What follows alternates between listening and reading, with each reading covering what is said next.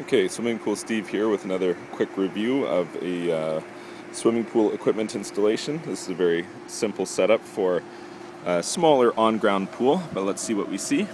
So first of all, we've got uh, Spaflex. That's what the pool was uh, was plumbed in. Spaflex, Tigerflex, flexible PVC.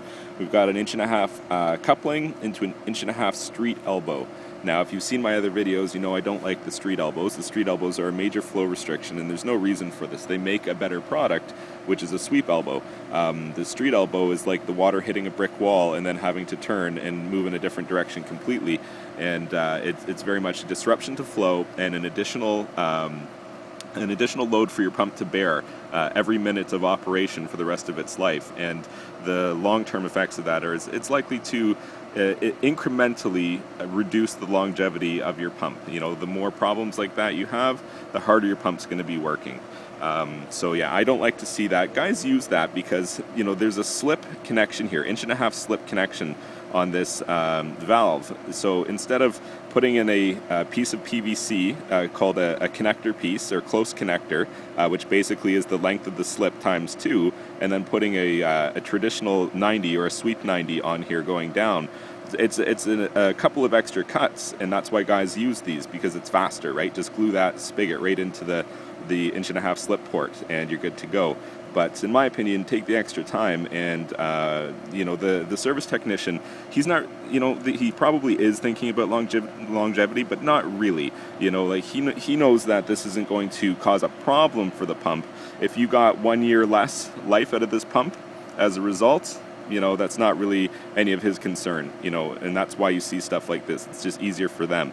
But you know would i do this on my own pool my personal pool? No no way. Wouldn't do it. So that's kind of the way i like to approach this. So moving on we've got a single union ball valve and about an eight inch straight run into the pump which is nice. I'd like to see that. Uh, you know, that's about the bare minimum that I want to see for a straight run into the pump because that, uh, you know, the pump has to work harder.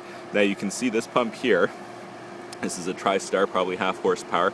Uh, it's not running with a full chamber. There's a lot of uh, lot of air in there. That's a big wet end, and with some flow restrictions like that, you know, it could be that that's causing it. Could be that the filter needs to be backwashed. We'll check the pressure in a second. Um, but yeah, that's something that you would typically see from a pump that's maybe not sized correctly, or maybe is experiencing some uh, some flow problems. The pump motor itself sounds fantastic, super quiet, no problem there. Um, so I don't think that that's the, the, the, problem. I think it's probably a fairly new pump, um, and that's probably as good as it'll ever be able to run on this system. Okay, so coming out of the pump into the filter, again, here we see this, the flexible PVC that's been clamped into place. This is for primer and glue connections, like you see here on this coupling, not for clamping. Uh, does it work? Well, yeah, I guess so. The water's not currently squirting out of here, but it doesn't make it correct. Um, at least their clamp orientation is correct. One clamp facing each direction, opposite to each other like that, because each of these clamps has a tight spot uh, and then a subsequent spot that's not quite as tight. So by doing this, you uh, you get the best of both worlds, tight on both sides. But this is something that you should do for for poly and barbed fittings, not for spa flex. I'd prefer to see this replaced with a PVC male threaded male adapter and then glue this pipe into that. That's what I'd like to see. System's running at 15 psi.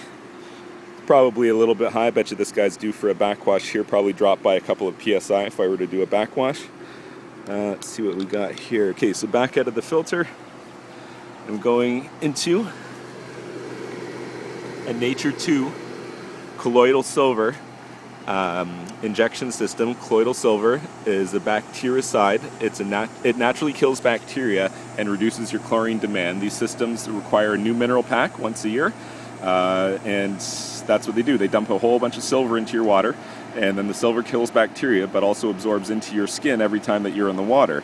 Uh, I personally don't use these, even though they do technically work, because in my opinion, the jury is still out on the potential harmful long-term effects of the exposure to silver. Uh, being that the body doesn't really dissipate the metals it absorbs, it just continues to uh, add up in your body over time. So it's not something that I'm completely sold on yet.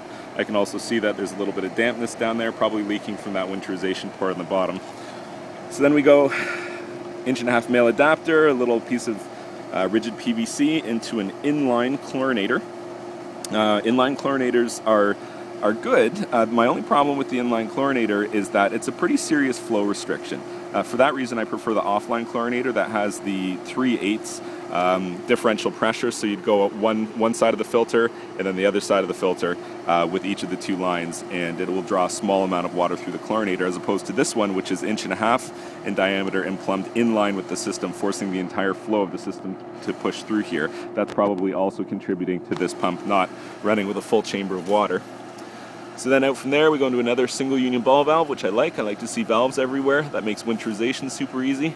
Uh, looks like the original guy for whatever reason, plumb that that 90 and that last 90 you see is a slip port one connection and a threaded port on the other.